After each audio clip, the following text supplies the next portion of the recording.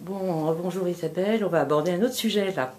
Un sujet, ben, un sujet, moi, ça m'intéresse euh, que tu y répondes parce que je me suis toujours posé la question.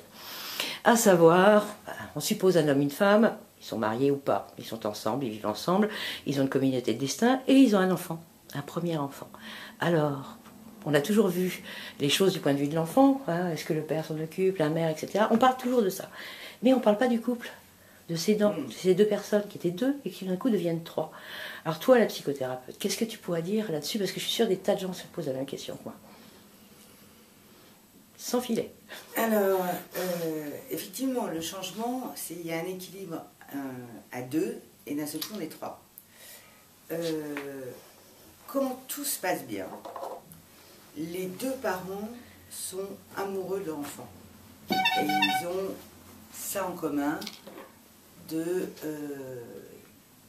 nous sommes euh, tous les deux gâteux, amoureux, notre, gardons notre enfant, c'est formidable.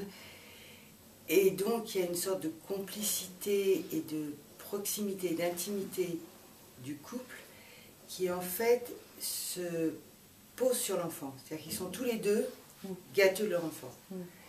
Ça, c'est quand tout se passe bien. Donc quand ça, ça se passe bien, au bout d'un moment, ils commencent à être tous les deux en même temps un peu moins amoureux de leur môme, et, euh, et ils se retrouvent ensemble et l'intimité se, se, met en place.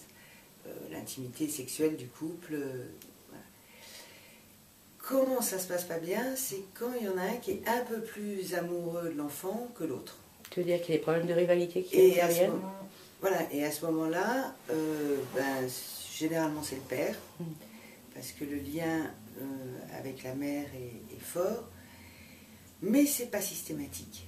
Il euh, y a aussi des, des hommes qui prennent une très grande place avec l'enfant et où la mère se sent exclue. Voilà.